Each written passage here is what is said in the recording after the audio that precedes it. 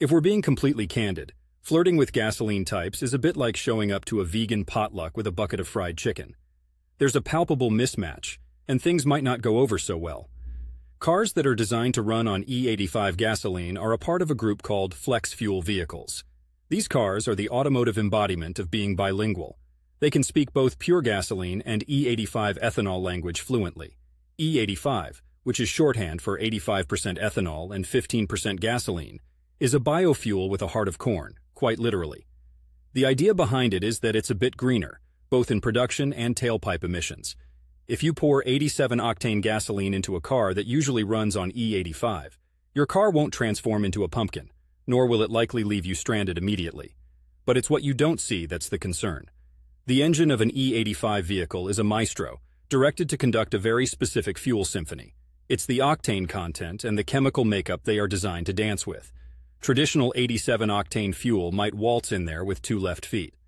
Over time, this mismatch could lead to a host of issues, from knocking and pinging in the engine due to premature detonation, because the fuel burns at a different rate, to potential damage from contaminants, since E85 vehicles have different materials and coatings in the fuel system to handle the higher alcohol content of E85. Moreover, don't underestimate the computer behind the metal. The car's engine control unit, ECU, might just throw a temper tantrum, or in technical terms, trigger a check engine light because the fuel composition sensors are picking up a blend that's as foreign to them as snow in the Sahara. As for the short term, your car might be forgiving enough to overlook your one-time blunder, thanks to the engineers who anticipated human error. But don't push your luck. Repeated offenses can rack up damage points on your engine and fuel system. Now, emergency situations might call for desperate measures. In a pinch, you could use 87 octane to get you to the next station, but make it the last resort. Like sneaking a bite of someone else's sandwich from the office fridge, it's not the end of the world, but also, it's not something to make a habit of.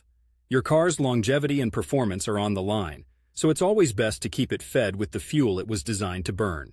Treat it right, and it'll treat you right. Simple as that.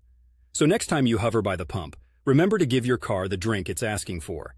Your engine will thank you, and so will your wallet in the long run.